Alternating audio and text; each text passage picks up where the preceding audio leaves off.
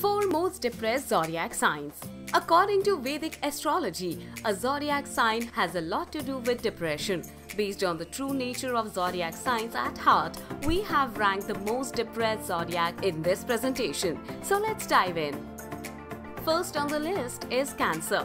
Brave on the front and sensitive on the inside, the Cancer zodiac sign gets hurt easily. They give their 100% and they expect the same from others.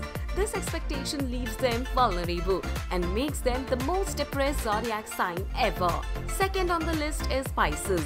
The most dramatic of all zodiac signs, Pisces is also the most depressed zodiac sign.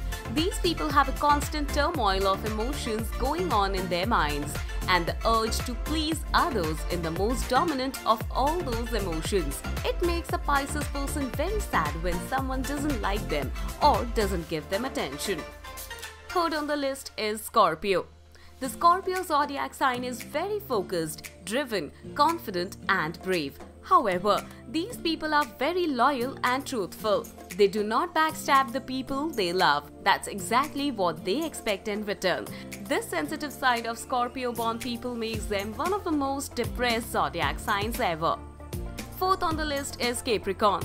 The Capricorn zodiac sign gets hurt easily. The worst part being, they won't express that they are sad. The sadness gets so deep in their hearts that they shut out the world in an attempt to guard their feelings.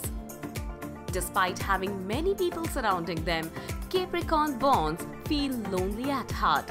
It makes them the fourth most depressed zodiac sign.